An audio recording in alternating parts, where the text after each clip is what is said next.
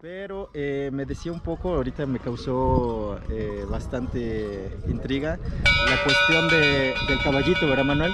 Me Sí. dice que el caballito eh, tiene ciento- de 130 años. 130 años de antigüedad y que se ha conservado. Hay una leyenda que me estaba diciendo ahorita, eh, para los que no estaban ahorita antes de... Es una leyenda de los siete perros, me decías, ¿verdad? Eh, ¿qué- cómo, qué- ¿Nos podrías contar un poco Claro de que esa sí. leyenda? Bueno, eh, bueno, eh, antes que nada, bienvenidos Gracias, aquí al municipio de Landero y Cos.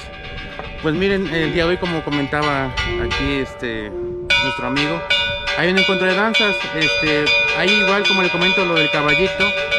Ese, se supone que ese tiene una leyenda nuestro caballito. Eh, consta de que hay uno que donde se encuentra el caballito tiene que tener maíz y agua como ofrenda hacia, hacia él, ¿no? Se supone que él tiene su espíritu dentro de, de la imagen que está representado en el corcel del Señor Santiago. Se supone que hace muchos años eh, lo dejaron sin la ofrenda que tenía, que era maíz y agua, y el caballito se fue de lo que es la iglesia.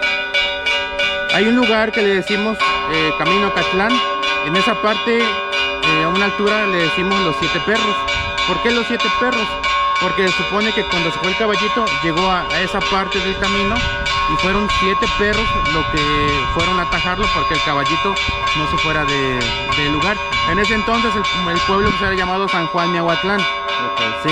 Ahí lo atajaron y de ahí, desde entonces, de esa fecha para acá, se empezó la costumbre de dejarle maíz y agua donde quiera que se encuentre, en casa de un mayordomo o de un familiar o en la casa de, de alguien más o en la iglesia. Esto para que no se vaya. para que no ¿verdad? se vaya. A manera de Eh, para que no nunca se hemos eh, dejado sin maíz y agua porque pues es la costumbre que tenemos, ¿no? Sí. Tal vez se puede ir, tal vez no, pero es la costumbre que nos vienen pues dejando nuestros abuelos, bisabuelos y tatarabuelos, ¿no? Ok. Ya que estas danzas, como saben, son franciscanas. Eso y es tenemos esas importante. tradiciones Eso que es tenemos. importante. Es una danza franciscana, es una danza de conquista, ¿verdad? Conquista, efectivamente.